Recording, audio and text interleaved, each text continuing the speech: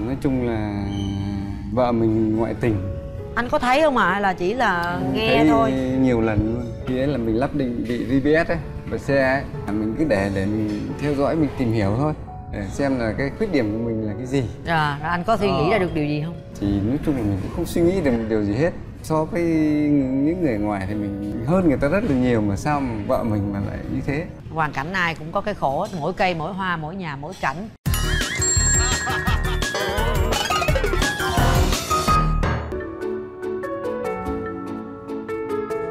Rồi, bây giờ anh chị đã về vị trí của mình rồi. Giờ hai anh chị sẽ giới thiệu về bản thân à, Để cho người bên cạnh có thể nghe được. Nhưng mình nói lớn một chút xíu nha anh nha.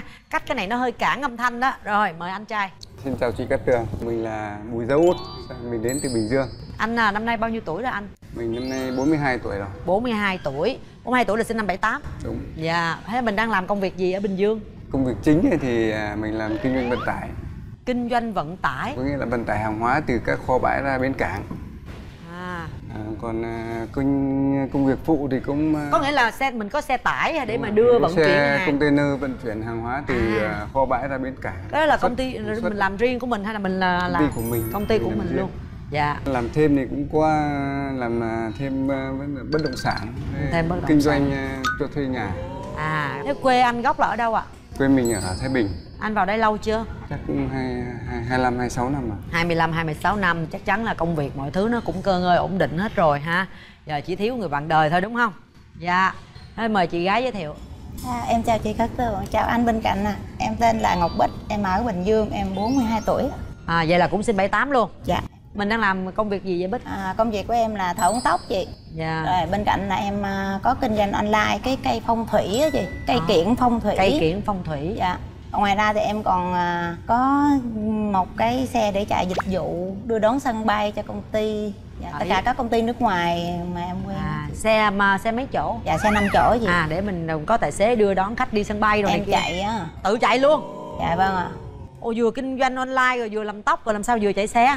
Cái tóc thì à, em em chỉ nhận trang điểm cô dâu cho ở bên tiệm áo cưới á chị. À thế là Dạ. có khách là mình đến mình làm. Dạ còn ở nhà em cũng có tiệm uống tóc thì có khách quen thì em làm còn hả có khách thì em chạy. Còn kinh doanh thì em kinh doanh tại nhà thì em lên mạng ai đặt thì em ship. Trời sao giỏi dữ vậy? Trời ơi, làm tài xế luôn lái xe đưa khách đi luôn. Dạ em Hay chạy. quá. Những người phụ nữ thời đại mới rất là là năng động ha. Mình có thể xoay chuyển làm đủ mọi thứ ha. Điểm mạnh điểm yếu của mình là gì? À, em có điểm mạnh là em hòa đồng. Em hay giúp đỡ người khác em rất là có hiếu với ba mẹ. Dạ. Nãy à, tường quên hỏi là mình quê ở đâu? Dạ em ở bình dương chị à, quê bình dương gốc bình dương luôn. À, em ở bình dương là năm 14 tuổi. À, dạ, còn em quê mẹ ba mẹ em ở tây ninh. Tây ninh. Dạ. à, điểm mạnh điểm yếu là còn à, có cái gì nữa? Em thì hay giúp đỡ người khác hay thương người với em tự lập từ nhỏ. Ừ. cho nên em rất là mạnh mẽ. Ừ. ừ, tự quyết định với nói về tài chính là em phải tự do tài chính của mình. Rồi. không có nhờ vả không có không ai giúp đỡ cho em. Rồi. À, điểm yếu của em là em hay quên. Tánh em rất là nóng nóng lắm Thế còn anh thì sao? Trước tiên là anh nghe những cái chia sẻ của bạn gái về công việc của bạn gái thì anh có cảm nhận như thế nào? mình cảm nhận thì bạn ấy cũng là một người gọi là tự lập giống mình Dạ, rất là mạnh mẽ dạ. Rồi à, về à, giới thiệu về những cái à, ưu điểm và những khuyết điểm của anh thì anh muốn nói à, chia sẻ những điều như thế nào? cái ưu điểm của mình thì vui vẻ hòa đồng nói chung là cũng nói chung là mình không có cái tật xấu Dạ. vì mình đã biết là những cái xấu thì mình thừa biết là mình không bao giờ mình cũng dính vô Đấy. Dạ. luôn luôn hoàn thiện bản thân để phù hợp với cuộc sống Dạ. chứ ờ, còn cái điểm yếu của mình thì chắc là mình giao tiếp cái này mình cũng không được lanh lẹ cho lắm đâu hơi run đó Dạ, thôi mình cứ chân thành có sao mình nói vậy được rồi anh cũng đâu cần miệng lưỡi đâu cần nói gì nhiều. à, Dạ, không cần hoa mỹ. Thế về còn à, chuyện tình yêu thì sao ạ? Mời à, em giới thiệu. em á thì em kết hôn 8 năm kết hôn 8 năm. dạ em có một bé gái 8 tuổi mà em đã đơn thân nuôi con 7 năm Trước đó thì mình tìm hiểu bao lâu rồi mình tiến tới hôn nhân? à, tụi em quen nhau trên facebook em có tiệm tóc á anh cũng hay ghé rồi quen rồi sau một năm tụi em mới kết hôn Dạ. quen một năm dạ Mà nguyên nhân nào lại à, dẫn đến là chia tay khi con còn nhỏ quá? Cái chuyện gia đình nó cũng khó nói lắm chị lúc mình cũng chưa có tìm hiểu kỹ khi đến kết hôn á Dạ. rồi nó xảy ra nhiều mâu thuẫn lắm tính em thì không có nói cái gì không được, em không nói không nói riết rồi cái thành cái thói quen là không nói. Riết em buông buông xuôi riết rồi em thấy không có được, em quyết định chia tay qua chuyện đó mình cũng rút ra được nhiều kinh nghiệm Dạ, đúng không ạ rồi, dạ. thứ nhất Mình là phải có- tìm hiểu kỹ hơn dạ không có thẳng thắn ngồi là để chia sẻ đó chị Dạ. Cái mình bỏ lớt lớt lớt qua hoài Đúng. luôn tại vì thật sự bây giờ cuộc sống nó nó vội vã Dạ. mà mình lại cho qua cho qua thì nó dồn nén lại những cái năng lượng những cái suy nghĩ xấu ở trong Dạ. người của mình nó rất là nguy hiểm thì em nghĩ mà trong cái hôn nhân cái quan trọng nhất là cái sự chia sẻ dạ đúng tại rồi vì phải chia sẻ mỗi ngày thì mới có sự thấu hiểu dạ rồi còn ờ, chuyện ờ, tình yêu của anh thì sao ạ? Thì mình cũng đổ vỡ một lần rồi. Dạ ờ, mình có cháu nào chưa anh? Mình có hai cháu. Hai cháu và mấy tuổi với mấy tuổi ạ?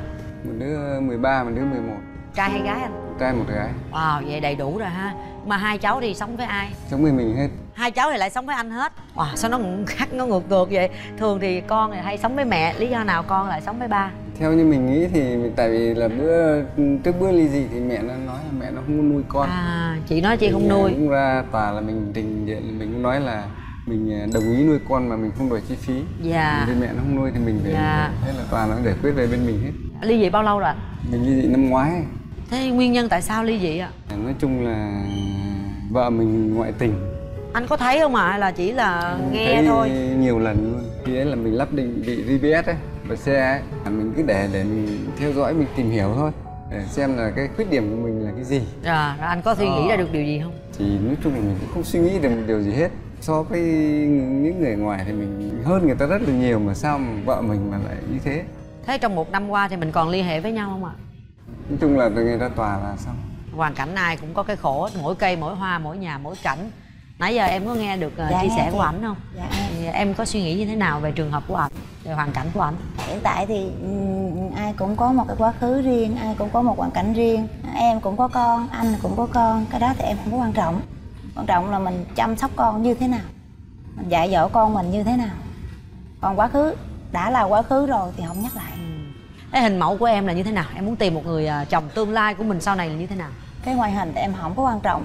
À, anh có công việc ổn định anh không gia trưởng không có chi ly không có keo kiệt Ừ, phải chia sẻ thấu hiểu chia sẻ phải hiểu cái công việc của mình và công việc của người bạn của mình nó như thế nào ừ. à, không thuốc không rượu được thì càng tốt nếu có em sẽ thuyết phục Ừ. Dạ. thế còn anh anh muốn tìm một người bạn đời của mình sau này như thế nào có tiêu Nói chung tiêu chuẩn gì không ạ tiêu chuẩn thì mình à, muốn một người phụ nữ của gia đình Dạ, dạ. À, chứ mình không thích cái người phụ nữ mà đi ra ngoài bắt đầu là la cả nọ kia là mình không thích có vẻ Mình là anh chị cũng hợp với nhau đấy. Cô này giỏi chăm chỉ làm việc không?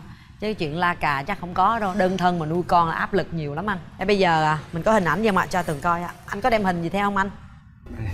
Dạ đây anh coi. Đây. Anh có hình trong điện thoại.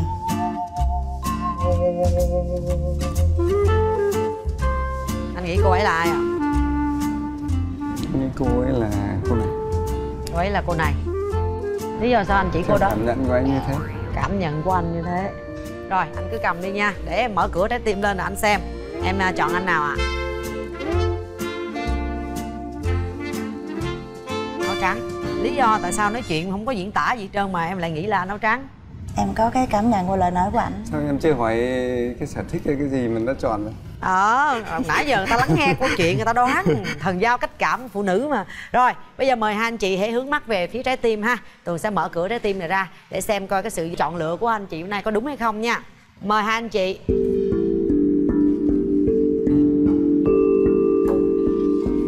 Chào anh. Chào em. Sao ạ? Đúng ha? Dạ đúng chị. Anh chọn đúng không anh không biết tại khác có cái kính không biết. Sai rồi. Cổ là cô này mới đúng nè. Dạ đúng rồi. À nè anh à, mời anh chị. À, hôm nay là ngày gặp mặt thì anh không biết gì thì anh tặng em bó hoa. Dạ thì em à, cảm ơn anh. bó hoa này thì anh mua đồ về anh bó. Đấy, đây là đây là màu xanh và đây là màu hồng và đây là màu tím. Đấy, thì à, xanh này là màu hy vọng còn màu hồng này là màu tượng trưng cho tình yêu.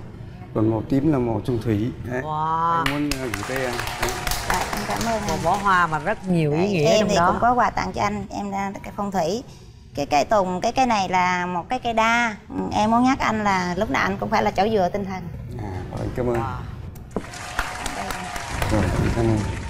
Hay quá những người cái cây này em tự trọng đó chị. Sáng nay em mới đưa nó vào chậu. À sáng rồi. nay 6 giờ nó dậy em đưa nó vào chậu để em Dạ, mang về nó theo mua cái- cái- 70 cái cây số để lên đây em rất là kỹ á chị nha. Sáng nay anh- mới chiết vào chậu và đi 70 cây số để đem cái hoa đến cái cây đến để đây đâu cũng được anh bàn làm việc văn phòng hoặc là bàn à, bàn học của con nhưng mà nuôi trong cái này nó Trong có sống phòng. nổi không? Dạ sống chị. Nó cái cây này nó là cây đa chị.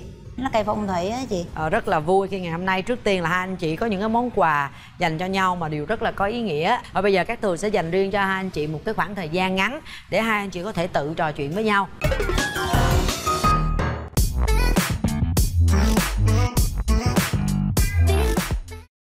Các Tường xin mời hai anh chị thưởng thức món à, tôm rang muối Hồng Kông và bánh và trái cây. Và Tường thấy có chè nữa rất là hấp dẫn nha. Món tôm rang muối là món ăn rất là phổ biến được rất là nhiều người yêu thích. Mời hai anh chị vừa thưởng thức món ăn ngon của nhà hàng Hoàng Yến và vừa trò chuyện với nhau. Rồi Dạ, mời hai anh chị. Rồi mời anh.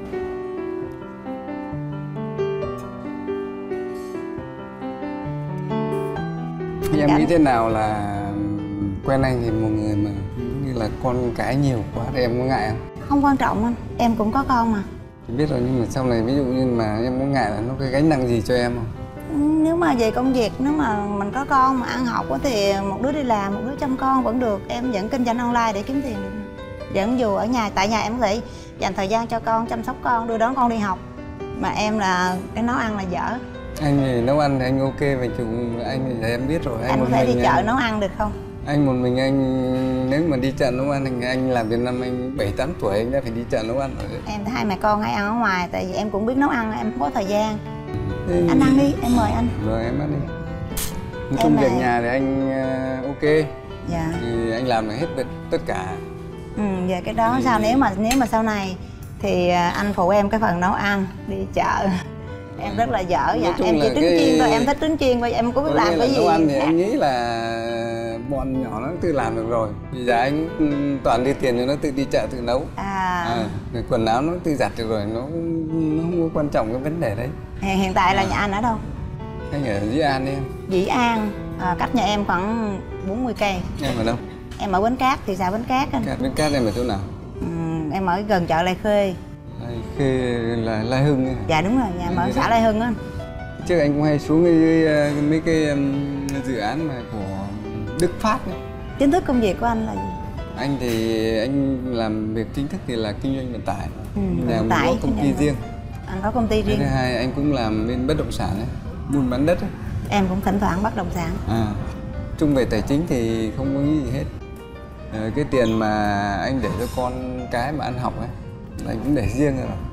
Như anh để một vài tỷ để cho chúng nó ăn học đến lúc chúng nó trưởng thành thì là mình một con người tự lập mà mình con người là có trách nhiệm. anh quan điểm của anh á, về cái cuộc hôn nhân tiếp theo của anh như thế nào? Anh có thể nói rõ cho em được không?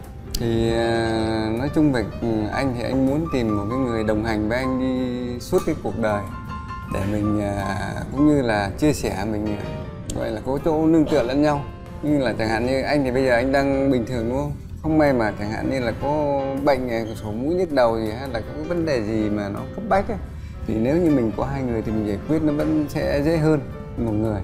Nên anh muốn một người là đi cùng anh đến nó cái cuộc đời là có cái chia sẻ. Anh có uống rượu hay hút thuốc lá gì anh tuyệt đối những cái đấy không anh đã nói là những cái tật xấu là anh không bao giờ anh dính vào kể cả em cũng rượu vậy bia hay nọ em kia. cũng không có thích là tụ À. tập hoặc là ăn chơi hay là rượu bia thuốc lá này em cũng rượu thích. bia anh nói thật là chỉ có những cái công việc đi xã giao bắt buộc thì anh phải uống thôi. Chứ còn không bao giờ là anh đụng vào một ly rượu hay ly bia này. Ví dụ ở nhà không bao giờ có. Em thì thích một người đàn ông là cá tính nói một một hai hai quyết định về công việc lẫn tình cảm lẫn con cái gia đình anh làm được. Đâu đó nó rõ ràng không- với em là rõ ràng. thì anh đang làm rồi chứ cần gì em hỏi đúng không? Bây giờ anh đang sống một mình nuôi con mà công việc anh làm anh rất là tốt thì em phải biết là anh đang làm rồi. Chứ không phải là anh có làm được không? Em thích một người, như vậy phải mạnh mẽ phải là độc lập. Anh muốn hỏi em gì nữa không? Hỏi đi. Nói chung là trời ăn miếng đi cưng. Gặp mặt thì ờ, em ăn chè chị em thích chè. Mình cũng có gì thì mình cứ tìm hiểu sau đi. Dạ rồi, Chứ, vâng. không có thời gian nhiều dành cho mình. con người mình không phải là nhìn nhận nhau một lần mà phán quyết được hết con người. Hơn là Dạ, anh dạ. cũng mong là em là như anh là có cơ hội để mình gặp nhau để mình chia sẻ.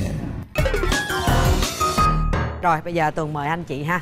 Em ưu tiên bạn nữ trước đi bóc một câu hỏi ha đọc lớn lên để chúng ta này để tìm hiểu nhau rõ hơn thôi em nữ em màu đỏ Dạ, đi em nữ màu đỏ em đọc lên em đi. ơi em bằng hỏa màu đỏ nóng lắm đấy Ta yêu cầu mà. bạn nam kể ra ba tật xấu nhất của, nhất của bạn nên đấy mình hồi nãy anh nói anh không có cái tật gì xấu luôn mới ghê chứ rồi, cái Ờ, xấu bây giờ- thì mình việc gì phải dính Ờ, vào nhưng mà anh mình phải ờ, xa lánh tật xấu thì là những Cũng cái phải gì- có chứ anh, cũng phải có phải có chứ tật con người xấu. ai Không, mà cái- hoàn hảo cái được ngày xưa là anh có Bây nhưng giờ mà anh đi. suy nghĩ là anh em không. muốn nghe hiện tại với rồi hiện tại anh nghĩ là anh còn có những cái gì thì anh là xấu là anh giao tiếp nó không được lưu loát. Đó Anh cũng là một hơi, cái à, bất động sản mà anh không lưu lót ai mua đất của anh ai cọc đất không, cho anh, kiếm tiền. anh, anh không phải là, là, là có mà anh là đầu tư thôi. À, Nhưng anh nhà đầu em tư. em bán thì anh mua.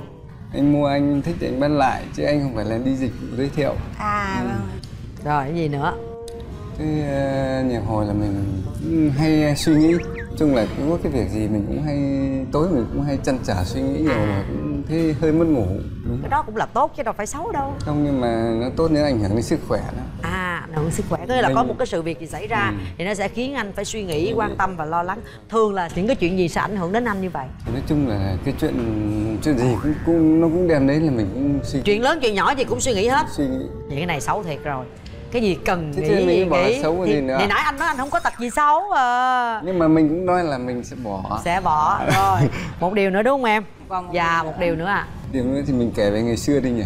Ngày xưa thì mình cũng nói chung là cái thời mà mình chưa chín chắn đó thì mình cũng uh, uống rượu uống đồ cũng có. À thế bây giờ là là, là đỡ chưa bây giờ là nãy cũng chia sẻ thật là chỉ có bắt buộc thôi chứ còn không bao giờ uống. Đó là công việc hay một Công cái tiệc tùng hay cái gì bắt buộc thôi. Rồi. Mời Anh- anh. rồi anh đọc đây ạ. Bạn hay kể ra ba bí mật của bản thân mà bạn chưa từng chia sẻ với ai. Đó là cái gì bí mà em- mật nha. mà em ngại mà em chia sẻ với ai? À. chứ không phải là em chia sẻ với bố mẹ rồi mà giờ em nấu đem- ăn em hay bị bị khét. Em kho trứng cũng bị khét kho hầm thịt cũng bị khét em nấu cái gì để em quên là bị khét mà em đâu dám nói ai nấu ra ngại cỡ. rồi- rồi còn gì nữa? Một cái là em đang cầm điện thoại lên tay em cứ đi kiếm điện thoại cầm chìa khóa lên tay đi kiếm chìa khóa đội cái nón bảo hiểm lên đầu em lại đi kiếm cái nón bảo hiểm. Có nghĩa là hơi hơi đảng trí chút xíu. đó là không không gì không thể cãi giá được. Nhưng mà cái đấy đã chia sẻ với ai chưa? Dạ chưa anh chưa À, giờ nói Thì với nếu ai. chia sẻ rồi là phải thêm cái nữa đó. Anh tham quá à. Chứ rồi thôi qua tới màn hát và đọc thơ mời anh. Thôi anh cũng hát một đoạn đi. Anh hát về quê anh đi dạ. Nắng ấm quê hương.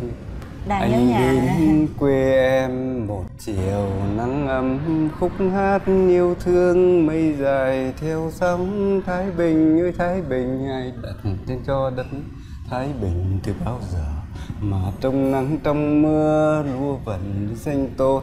Mà trong bom trong đàn đất vẫn cứ sinh sôi. Thái bình ơi sao mà yêu đến thế anh yêu diêm điên hàng phi lao gió mát đưa em đi tắm mát ở bãi biển đồng châu.